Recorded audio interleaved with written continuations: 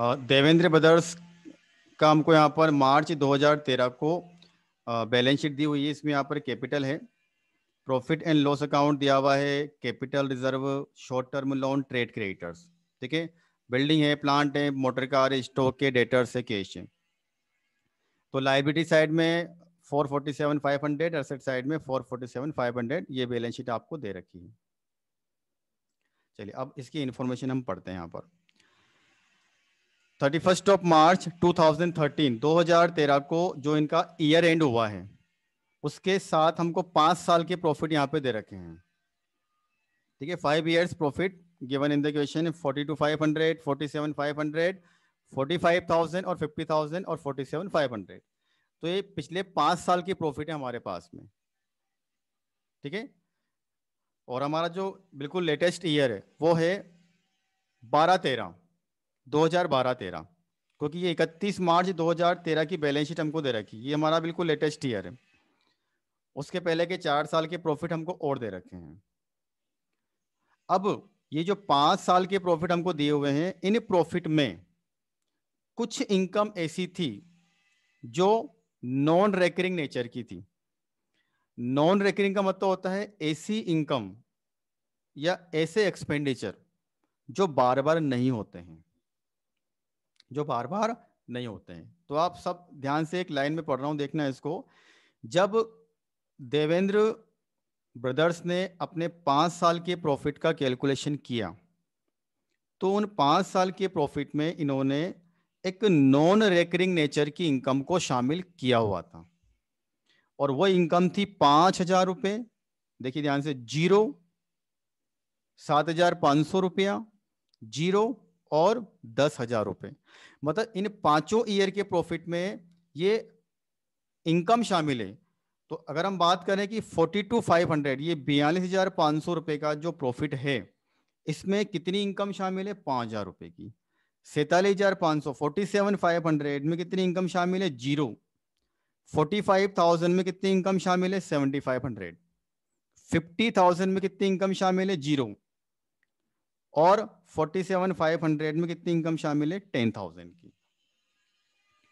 तो सबसे पहले तो हमको देखना है कि ये नॉर्मल इनकम है या फिर एबनॉर्मल इनकम है? और इसको मैं कौन से स्टेप पे यहाँ पर सही कर सकता हूँ? वो भी हम यहाँ पर समझेंगे। अब ये जो इनकम है, जिसको इन्होंने अभी क्या बोला? नॉन रेकरिंग मतलब कभी कभी होने वाली इनकम ये इनकम फ्यूचर में अब रेगुलर होने वाली है। कितना रुपया? दस हज़ार रुपए। ये रेगुलर होगी। तो पहला एडजस्टमेंट हमको यहाँ पर इस इनकम का करना है, जो कि मैं भी आपको समझाने वाला हूँ आगे। मार्च 2013 को इन्होंने क्या किया? बिल्डिंग, प्लांट और मशीन का वैल्यूएशन किया। तो बिल्डिंग का वैल्यूएशन होता है दो पचास पर, प्लांट और मशीन का वैल्यूएशन किया दो लाख पच्चीस हज़ार रुपए पर। ये इन्होंने इसका वैल्यूएशन करके हमको दे रखा है। ठीक है? तो इसका क्या करना होता है हमको यहाँ पर गुडविल की कैलकुलेशन में? तो एडिशनल डेप्रिसिएशन कैपिटल एम्प्लॉयड में यहाँ पर ही काम आने वाला है। देखते हैं। डेप्रिसिएशन की दे रखी रेट आपको टेन परसेंट की। उसके बाद लास्ट में आपको एक पॉइंट दे रखा है कि कंपनी ने जो प्रॉफिट कमाया था करंट ईयर का, उसमें से कंपनी ने जो गुड्स सेल किया है मार्केट में तो 2500 के डेटर्स कंपनी के बेड होने वाले हैं बेड डेट्स बनने वाले हैं, डूबने वाले हैं। और उसके बाद भी कंपनी देवेंद्र जो है ब्रदर्स हैं, वो फाइव परसेंट की रेट से प्रोविज़न फॉर डाउटफुल डेप्ट बनाना चाहते हैं। ठीक है?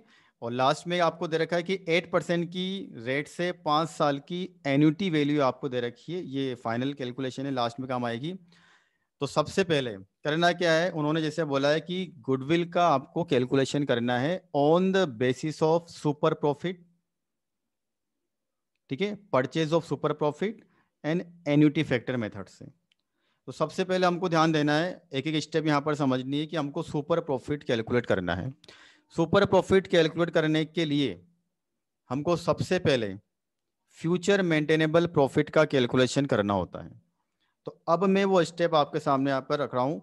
Step number one step number one होती है क्वेश्चन के अंदर जो फोर ईयर फाइव ईयर के प्रॉफिट हमको दिए हुए होते हैं। तो सबसे पहले हमको ये चेक करना होता है कि क्या कोई एबनॉर्मल नेचर का एक्सपेंडिचर एबनॉर्मल नेचर की इनकम हमारे इन पाँच साल के प्रॉफिट में शामिल है। ठीक है? ये हमको चेक करना होता है। तो देखिए, हम स्टार्ट करते हैं इसको सबसे पहले। हमने क्या किया? पाँच साल के प्रॉफिट को लिया। ठीक है? 2009-10 कैसे देखिए। हमको पाँच साल के प्रॉफिट यहाँ पे लेने तो आठ, नौ नौ दस दस ग्यारह ग्यारह बारह बारह तेरह। ये इस तरह से आपको प्रॉफिट यहाँ पे लिखने हैं, है ना? ये 2008 नाइन है फ़र्स्ट ईयर एट नाइन फिर नाइन टेन फिर टेन इलेवन फिर इलेवन ट्वेल्व उसके बाद ट्वेल्व थर्टीन पाँच साल के प्रॉफिट को हमने यहाँ पे लिखा forty two five hundred forty seven five hundred forty five thousand fifty thousand forty seven five hundred हमने पाँच साल के प्रॉफिट को लिखा। अब हमारी स्टेप नंबर वन यहाँ पर स्टार्ट होती है, हम हमारे प्रॉफिट को एडजस्ट करते हैं। तो जब हमने इसको एडजस्ट करना है तो सबसे पहले चेक करिए आप लोग क्या कोई एबनॉर्मल नेचर की इनकम या एबनॉर्मल नेचर का एक्सपेंडिचर हमको दे रखा है? तो एक इनकम ऐसी थी जो नॉन रेकरिंग नेचर की थी। मतलब नॉन रेकरिंग का मतलब जो कभी कभी होती है। रेगुलर नहीं हो रही कभी कभी हो रही है और अलग अलग अमाउंट के लेकर हो रही है। तो इसमें क्या करना है आपको?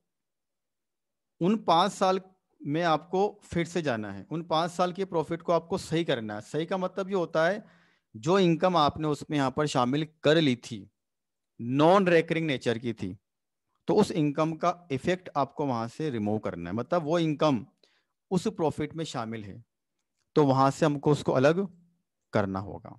तो आप देखिए, पाँच हज़ार की इनकम क्वेश्चन में हमको दे रखा है, पाँच साल की इनकम जो नॉन रेकरिंग नेचर की थी। तो सबसे पहले तो जिस समय ये इनकम इन्होंने शामिल की थी, उस समय उसका नेचर क्या है? ध्यान से सुनिएगा, उसका नेचर क्या है? नॉन रेकरिंग मतलब ये एक रेगुलर इनकम नहीं है। ठीक है? और गुडविल की कैलकुलेशन में वो इनकम और वही एक्सपेंडिचर आते हैं जो नॉर्मल नेचर के होते हैं, जो रेगुलर होते हैं। क्योंकि ये इन पाँच सालों में नॉन रेकरिंग इनकम के नेचर की है। इसलिए इसको हम क्या करेंगे? हम इस इनकम को उस ईयर के प्रॉफिट में से माइनस करेंगे जिसमें शामिल है। तो 2008-9 का जो प्रॉफिट है 42,500 उसमें ये 5,000 की इनकम शामिल थी। इसीलिए आप देखिए ये हमने यहाँ से इसको माइनस कर दिया पहला स्पेशल पॉइंट। 2009-10 में ये इनकम जो रखी आपको ज़ीरो देखिए ज़ीरो शून्य। इसलिए हमने इसका यहाँ पर कुछ भी नहीं किया। 2010-11 10-11 में 7500 की इनकम थी। जिसको हमने वहाँ से इसको लेस कर दिया। 11-12 के अंदर ये इनकम थी ज़ीरो तो हमने इसके यहाँ पर कुछ भी नहीं किया। और 2012-13 में ये जो इनकम थी, अभी भी कौन सी इनकम है? Non recurring. उसको हमने क्या किया? यहाँ से लेस कर दिया। देखिए, लेस करने का मतलब हमने इसको एडजस्ट कर दिया। मैं फिर से आपको बता रहा हूँ, जब आप गुडविल का वैल्यूएशन करते हो, तब अगर आपके प्रॉफिट में कोई एबनॉर्मल नेचर की इनकम एबनॉर्मल नेचर का एक्सपेंडिचर नॉन रेकरिंग नेचर की इनकम नॉन रेकरिंग नेचर का एक्सपेंडिचर अगर आपके किसी प्रॉफिट में शामिल है तो उसको वहाँ से एडजस्ट करना होता है ऐड करना होता है या फिर लेस करना होता है। ये हमने पहला स्पेशल ट्रीटमेंट यहाँ पर कर दिया। अब जो दूसरा स्पेशल ट्रीटमेंट है, वो आपको यहाँ पर बहुत ध्यान से समझना है, क्योंकि इस क्वेश्चन में वो एडजस्टमेंट फ़र्स्ट टाइम आ रहा है। देखिए बैलेंस शीट के अंदर यदि कोई करंट असेट होती है, कोई करंट असेट होती है, और उस करंट असेट की वैल्यू में अगर कोई इंक्रीज या कोई डिक्रीज होती है, देखिए मैंने फिक्स असेट नहीं बोला है, मैंने करंट असेट बोला है। तो बैलेंस शीट के अंदर जो करंट असेट है, जैसे हमको यहाँ पर स्टॉक डेटर्स ये दो करंट असेट यहाँ पे दे रखी कैश में कभी कुछ इंक्रीज डिक्रीज होता नहीं है तो स्टॉक और डेटर्स यहाँ पर हमारी करंट असेट है, चालू संपत्तियाँ हैं। तो बैलेंस शीट के अंदर जो करंट असेट होती है, गुडविल का वैल्यूएशन करने के समय, यदि उन करंट असेट की वैल्यू में कोई फ्लक्चुएशन हुआ, कोई इंक्रीज कोई डिक्रीज हुआ तो उसका समायोजन हमको करंट असेट में से भी करना पड़ता है। और जो करंट ईयर का प्रॉफिट है, उस करंट ईयर के प्रॉफिट में उस करंट असेट में होने वाले फ्लक्चुएशन को एडजस्ट करना पड़ेगा। तो वो समायोजन में आपको यहाँ पर करके बता रहा हूँ। सबसे पहले आप चेक करिए डेटर्स हमारी बुक में है कितने के? पंद्रह हज़ार रुपए के। इन पंद्रह हज़ार रुपए में से क्या हुआ? तो एक लाइन देखिए it is estimated that rupees twenty five hundred of book dept would be bad मतलब पच्चीस सौ रुपए के डेटर्स डूब गए। डेटर्स डूबने का मतलब डूबत ऋण डूबत ऋण का मतलब असेट हमारी कम हो गई। तो सबसे पहले तो क्या करना आपको यहाँ पर, देखिए करंट ईयर के प्रॉफिट में इसका समायोजन होगा। तो आप देखिए करंट ईयर के प्रॉफिट में से हमने क्या किया करंट ईयर का प्रॉफिट का मतलब तो बिल्कुल लेटेस्ट ईयर का प्रॉफिट 2012-13 जिस ईयर की हमको बैलेंस शीट दे रखी है। तो हमने क्या किया, ये पच्चीस सौ उसमें से माइनस किए। किस नाम से? बेड डेप्स के नाम से। ठीक है? आ रहा समझ में?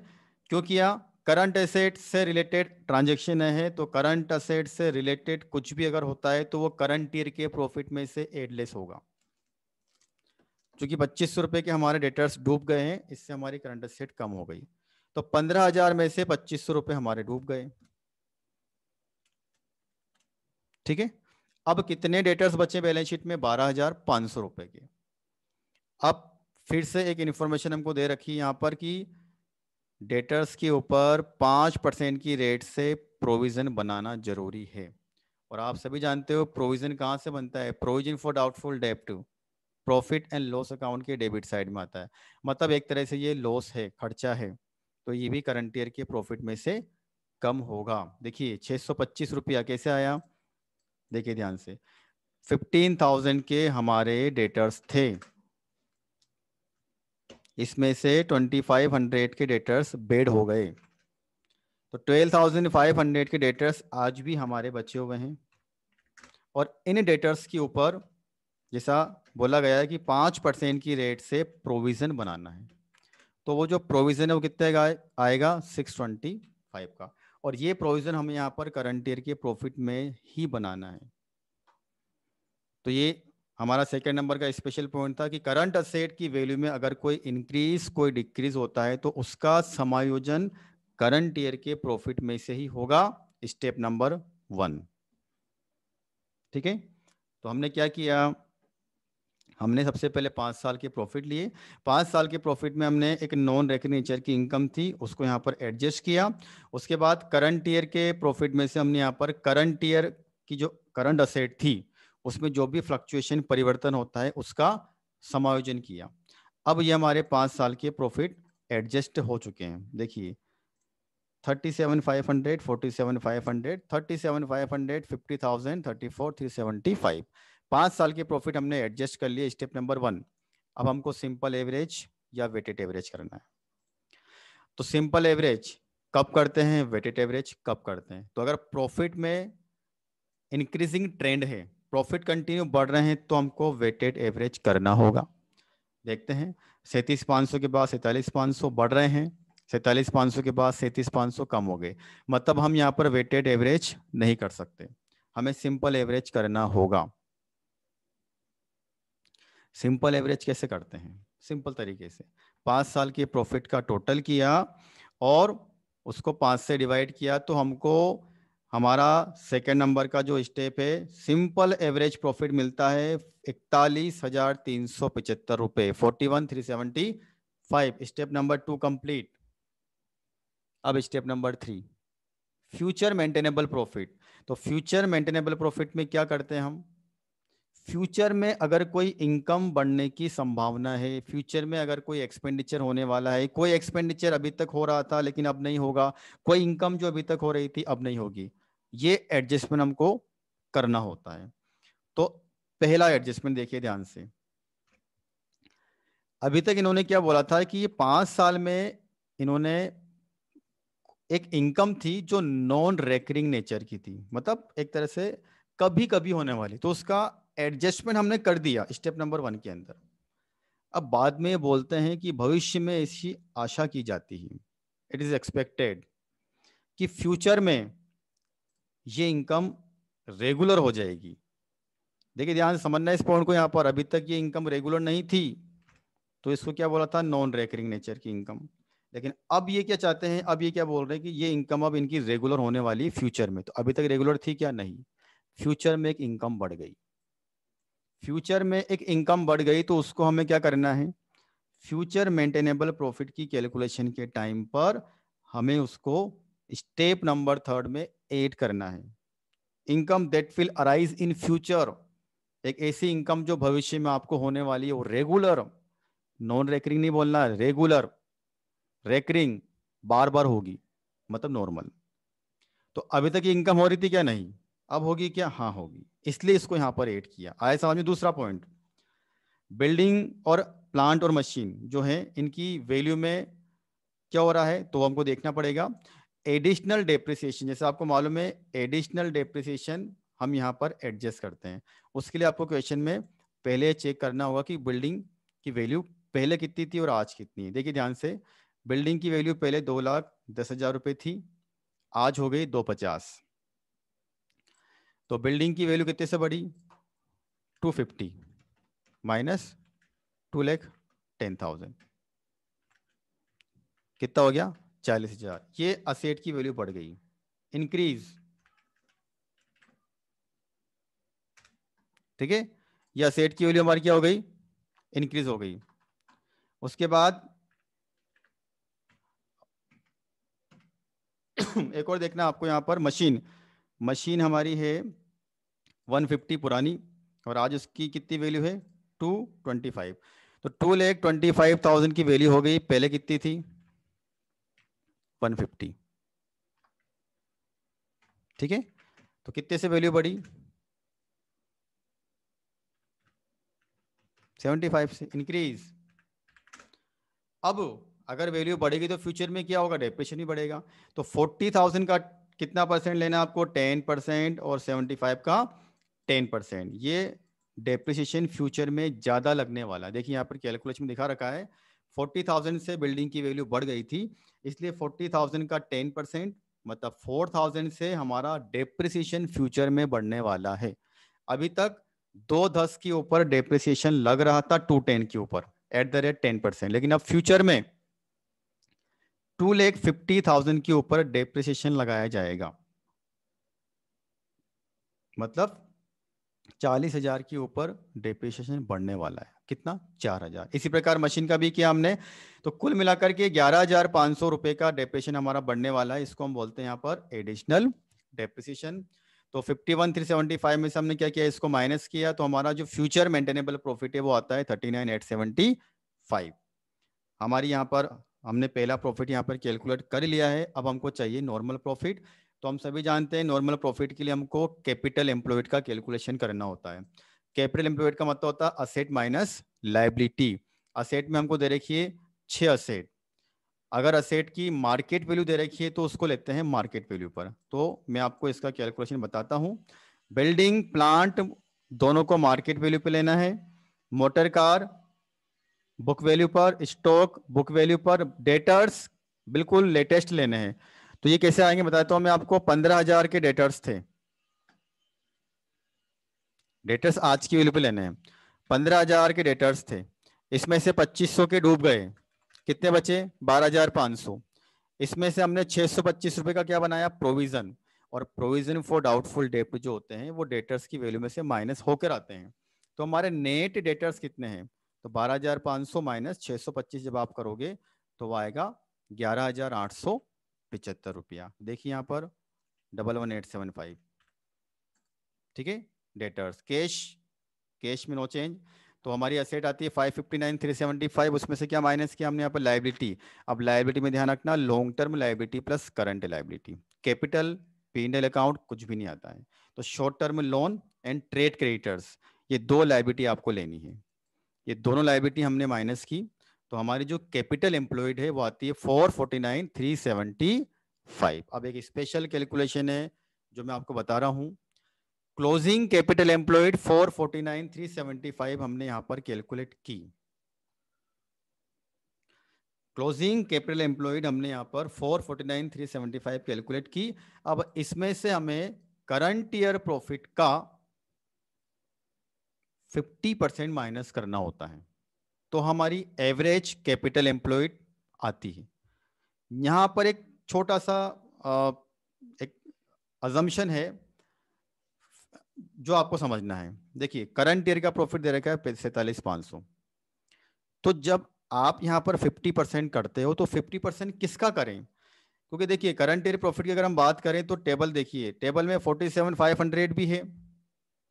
जो करंट ईयर का प्रॉफिट दे रखा बिफोर एडजस्टमेंट और चौंतीस हज़ार तीन सौ पिचहत्तर रुपया भी है, जिसमें से हमने यहाँ पर नॉन रिकरिंग इनकम और वो करंट असेट में होने वाली कमी को भी एडजस्ट कर लिया। तो आपको यहाँ पर एक पॉइंट ध्यान रखना है कि जब आप यहाँ पर 50 percent of current year profit करते हो तो वहाँ पर आपको केवल करंट ईयर प्रॉफिट में से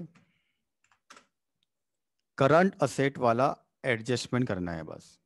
मतलब करंट असेट में जो कमी होगी, उसको माइनस करना है। देखो स्पेशल पॉइंट है, ध्यान से आप समझ लेना। तो सैतालीस हज़ार पाँच सौ का प्रॉफिट हमको क्वेश्चन में गिवन था। इसमें से हमने एक तो डेटर्स ध्यान रखते हैं नॉन रेकरिंग इनकम का समायोजन नहीं करना यहाँ पर अभी। फिफ्टी परसेंट निकालने के लिए। तो फोर्टी सेवन फाइव हंड्रेड में से क्या माइनस करोगे? फोर्टी सेवन फाइव हंड्रेड में से हमको माइनस करना है। एक तो वो बेड डेप्स कितने रुपए का? ट्वेंटी फाइव हंड्रेड और एक प्रोविज़न फॉर बेड डेप्स छह सौ पच्चीस रुपए का। तो सैतालीस हज़ार पाँच सौ माइनस पच्चीस सौ माइनस छह सौ पच्चीस कितना आता है? Forty four, three seventy five. इसका आपको लेना है पचास परसेंट। ठीक है? जब आप इसका करते हो पचास परसेंट तो आपका वो प्रॉफिट आएगा बाईस एक सौ सत्यासी पॉइंट पाँच। मतलब double two one eight eight special provision मैंने बोला, ध्यान रखना है इसमें यहाँ पर कैलकुलेशन के टाइम पर आपको ये ध्यान रखनी है कि जब आप 50 percent of current year profit करते हो क्लोजिंग कैपिटल एम्प्लॉयड में से माइनस करते हो तो करंट ईयर प्रॉफिट यहाँ पर निकलता कैसे है? चलिए एवरेज कैपिटल एम्प्लॉयड आपने कैलकुलेट किया। अब हम बात करते हैं सुपर प्रॉफिट की। तो सुपर प्रॉफिट का लिए आपको नॉर्मल प्रॉफिट चाहिए। नॉर्मल प्रॉफिट होता है average capital employed into NRR तो चार सत्तावीस, एक सौ सत्यासी का निकाला अपन ने आठ परसेंट। ये जो रेट दे रखी ना, इसको बोलते हैं एनआरआर क्वेश्चन के अंदर। ये एट परसेंट ठीक है? चलिए फ्यूचर मेंटेनेबल प्रॉफिट हम, हमारा था thirty nine eight seventy five normal profit हमने निकाला thirty four one seventy five super profit आता है फिफ्टी सेवन हंड्रेड अब fifty seven hundred super profit अब गुडविल की मेथड आप देखिए। गुडविल की पहली method number of years number of years पे करना है आपको सुपर प्रॉफिट को नंबर ऑफ़ ईयर्स से मल्टीप्लाई करना है। पाँच साल दिया हुआ है क्वेश्चन के अंदर, या आपने पाँच से मल्टीप्लाई किया गुडविल अट्ठावीस पाँच सौ। दूसरी method annuity method annuity method में क्या करना है आपको? सुपर प्रॉफिट को एन्यूटी वैल्यू से मल्टीप्लाई करना है। और एन्यूटी वैल्यू आपको इस इक्वेशन के अंदर 3.9927 दी हुई है। आपको केवल उसको सुपर प्रॉफिट से मल्टीप्लाई करना था। और आपकी गुडविल यहाँ पर बाईस सात सौ अट्ठावन आ जाती है। ठीक है? अब ये जो एन्यूटी वैल्यू होती है, इसको जैसे मैंने पहले भी आपसे कहा है कि इसको आप कैलकुलेट कर सकते हो one upon one plus R to the power N के फॉर्मूले से। ठीक है? हालाँकि इसमें क्वेश्चन में आपको ये एन्यूटी वैल्यू दे रखी है three point nine nine two seven